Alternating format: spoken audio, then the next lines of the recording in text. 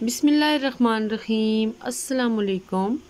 अल्लाह ताला के बबरकत नाम से आज की वीडियो का आगाज़ करेंगे और आज मैं आपको सिखाऊँगी बहुत ही ज़बरदस्त और बहुत ही झटपट बनने वाली कॉफ़ी। सिर्फ़ दो मिनट में हम इस कॉफ़ी को बग़ैर किसी मशीन के रेडी करेंगे। तो यहाँ पे डेढ़ चम्मच मैंने ले लिया है नेस कैफ़े कॉफ़ी का। और इसके अंदर हम दो टेबल स्पून या डेढ़ टेबल स्पून ही शुगर ऐड करेंगे और साथ ही इसमें one and half table spoon नीम गर्म पानी का ऐड कर देंगे। पानी ऐड करने के बाद आप उसी चम्मच के साथ इसको मिक्स करते जाएँ। मुसलसल आप चम्मच चलाते जाएँ। तो कॉफ़ी का जो डार्क ब्राउन कलर है, उससे ये लाइटर होती जाएगी और इसका टेक्सचर बिल्कुल क्रीमी होता जाएगा।